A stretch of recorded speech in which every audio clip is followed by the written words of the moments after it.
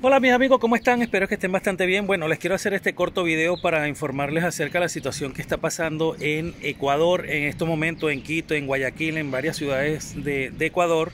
Y es que quiero desmentir y quiero a la vez decirle de que están tratando de confundir a, eh, mucha gente, algunos medios de comunicación o algunas redes sociales, diciendo que eh, en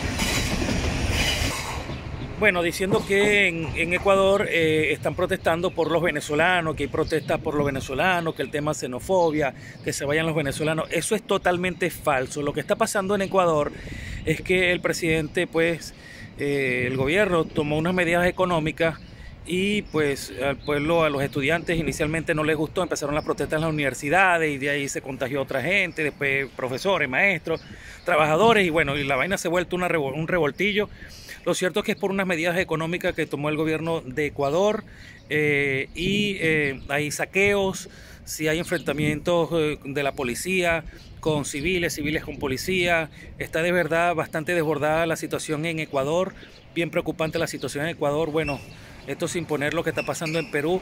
Y yo les voy a contar algo que está pasando por ahí que mucha gente no se ha dado cuenta, pero voy a tener que alertarlo. Eh, y esa es la situación. No es por venezolanos, no es por xenofobia. No, los ecuatorianos no están pidiendo que salgan los venezolanos, que están matando venezolanos, que los venezolanos delincuentes. Eso es falso. Están algunas redes sociales diciendo que se está manifestando en Ecuador en contra de los venezolanos y eso es falso. Es por unas medidas económicas que tomó el gobierno ecuatoriano y la gente pues eh, no está de acuerdo. Eh, ellos sabrán sus cuestiones allí y si hay manifestaciones, hay saqueos, hay enfrentamientos de la policía con estudiantes, hay problemas en las universidades, en los trabajos y, está bastante difícil la situación. Pero eso es lo que está pasando, no es por eh, xenofobia ni por el tema venezolano, es una cuestión interna de ahí Ecuador, vuelvo y repito, de unas medidas económicas que tomó el presidente y el gobierno de Ecuador.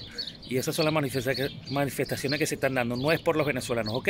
Así que dejen de estar metiéndole basurita a la gente en los oídos y en su mente. Cuídense mucho, se les quiere.